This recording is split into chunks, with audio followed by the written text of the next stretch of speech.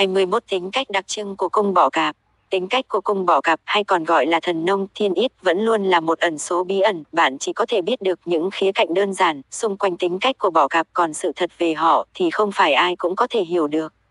Đó là lý do vì sao, ngày hôm nay, mật ngữ 12 chòm sao, lựa chọn công bố cho bạn về 21 đặc điểm nổi bật nhất xung quanh tính cách của bọ cạp. Sau khi bạn lắng nghe hết, bạn sẽ không còn hiểu lầm và cảm thấy bọ cạp quá khó hiểu nữa. 1. Bọ cạp chứa đựng trong mình đầy sự nỗ lực và sự đam mê. Bọ cạp là một trong những cung hoàng đạo nhiệt huyết mạnh mẽ nhất của 12 cung hoàng đạo và họ có khả năng tạo ra nguồn năng lượng cho những người xung quanh.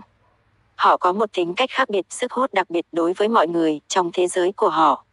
2. Bọ cạp thông minh và không dễ bị lừa gạt. Bọ cạp cực kỳ thông minh, tinh danh và suy nghĩ rất chín chắn nên đừng bao giờ có ý định lừa gạt bọ cạp.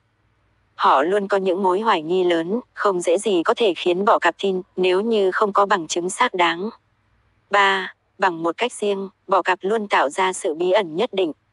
bỏ cặp là người có tính cách rất phức tạp, họ nổi tiếng bởi sự khó hiểu, khó đoán và hoàn toàn bí ẩn. Họ có xu hướng tạo ra một bức rào chắn với mọi người xung quanh để không ai có thể xâm phạm vào thế giới riêng tư, bao gồm đời sống và công việc của họ. 4. Bò cạp luôn đòi hỏi sự thật và họ đặt mối nghi ngại về mọi thứ. Bò cạp nghi ngờ về tất cả mọi thứ xuất hiện cùng với những người xung quanh, ngay cả khi ý định của người khác là tốt đẹp trước hết Bò cạp vẫn cố gắng tìm kiếm để xem vấn đề đó có thật đáng tin cậy hay không. Lời khuyên cho bò cạp, bạn nên thoải mái và dễ dàng hơn, bởi vì không phải ai trên đời này cũng có thể là mối hoài nghi của mình. 5. bò cạp tham vọng và đầy tính cạnh tranh. Những người thuộc cung bọ cạp luôn có một tham vọng rất lớn, họ có tính cạnh tranh mạnh mẽ và luôn tìm mọi cách tranh đấu để đạt được những thành tựu vĩ đại. Khi họ muốn một cái gì đó, họ sẽ quyết tâm bằng mọi giá để đạt được nó và chinh phục nó theo một cách riêng biệt của họ. 6. Khi bọ cạp tức giận, họ có thể trở nên rất đáng sợ. Bọ cạp có tiếng là những người mà bạn không nên đụng vào khi họ nổi điên, điều đó hoàn toàn là có lý do chính đáng. Họ không ngại phản đòn đối phương, nếu như cứ cố gắng chọc giận họ, giống như con vật đại diện của mình, họ có khả năng làm tổn thương người khác một cách nặng nề bằng chính sức mạnh của mình. 7. bỏ cạp chỉ dành lời khen cho những điều thật sự xứng đáng. Với bỏ cạp lời khen không giống như một nụ hôn hay một cái ôm không cần phải nói ra khi không cần thiết. Nói cách khác cho dễ hiểu thì chính là họ chỉ dành lời khen ngợi cho những thứ mà họ chắc chắn là nó xứng đáng. Họ không thể giả vờ thích thú khi bản chất là không phải cho dù người đối diện có thực sự muốn cũng khó có thể ép bỏ cạp làm. 8. Nếu bị phản bội, bỏ cặp sẽ cảm thấy cực kỳ tổn thương. Bỏ cặp không phải là kiểu người dễ dàng tha thứ cho những lời nói dối và sự phản bội. Họ sợ nhất là bị ai đó lừa dối. Khi niềm tin bị phá vỡ, bỏ cặp sẽ cảm thấy cực kỳ tổn thương và khó chịu cảm giác như mọi thứ đã vỡ tan tành và mãi mãi không thể lấy lại được nữa chi bằng cơ thế mà cắt đứt quan hệ đi. 9. Sẽ mất kha khá một khoảng thời gian để bước vào thế giới riêng tư của bọ cạp.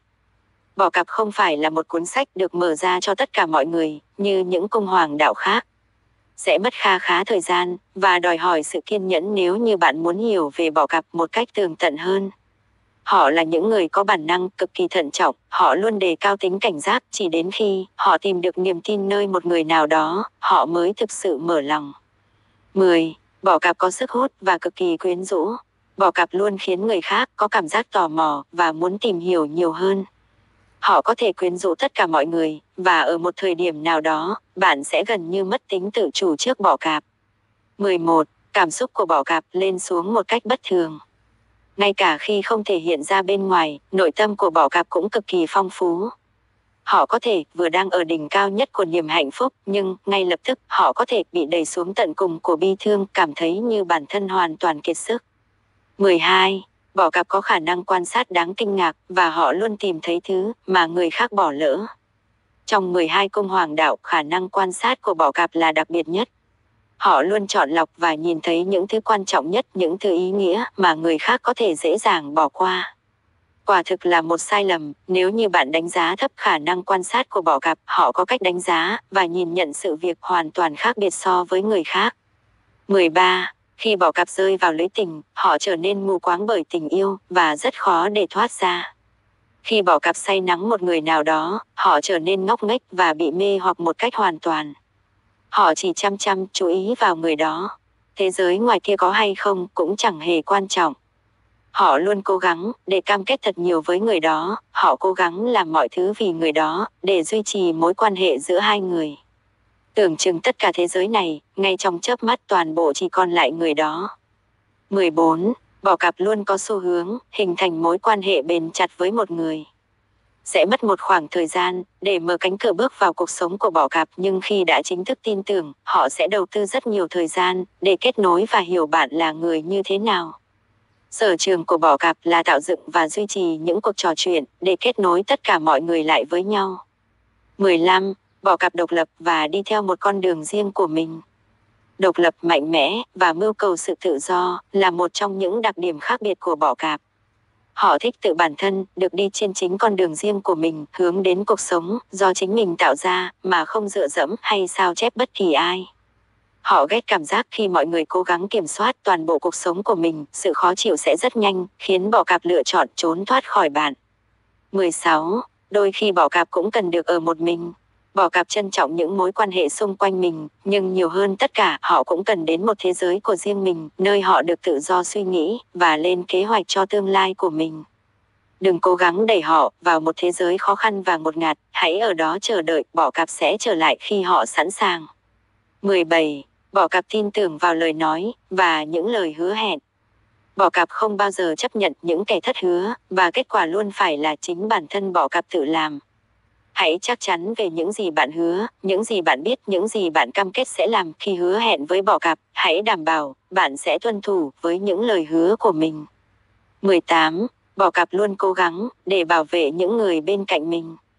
Bản năng bảo vệ và bản tính chiếm hữu là những đặc tình nổi bật của bỏ cạp.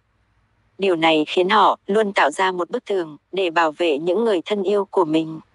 Khi một trong những người quan trọng của bỏ cặp bị tổn thương, họ sẽ cố gắng tìm cách bảo vệ, hỗ trợ và cố gắng cùng họ vượt qua thời điểm khó khăn đến cùng. 19. Bỏ cặp rất cầu kỳ trong việc mở rộng các mối quan hệ. Bỏ cặp yêu cầu sự riêng tư và họ thường tạo ra một vòng tròn xung quanh các mối quan hệ của mình. Họ có khá ít bạn thực sự, và họ ý thức được rằng một người bạn thân có giá trị hơn một ngàn mối quan hệ xã giao. 20. Bỏ cặp sở hữu một ánh nhìn chết người. Rất ít người có thể trụ vững trước ánh nhìn từ thần của bỏ cặp khi bạn làm gì đó sai trái, ánh mắt của bỏ cặp sẽ khiến bạn cảm thấy như bản thân mình đang bị từ từ hạ gục và vạch trần. Thường thì chỉ bằng ánh mắt bỏ cặp cũng sẽ rất nhanh hạ gục được người đối diện. 21 bỏ cạp cực kỳ kiên cường, và họ không cho phép một vài thất bại làm ảnh hưởng đến con đường dẫn đến thành công. Bỏ cạp có khả năng chống chọi với khó khăn cực kỳ tốt. Sẽ rất khó để hạ gục bỏ cạp chỉ bằng một vài khó khăn, sự thất bại chỉ càng làm cho bỏ cạp trở nên mạnh mẽ hơn mà thôi.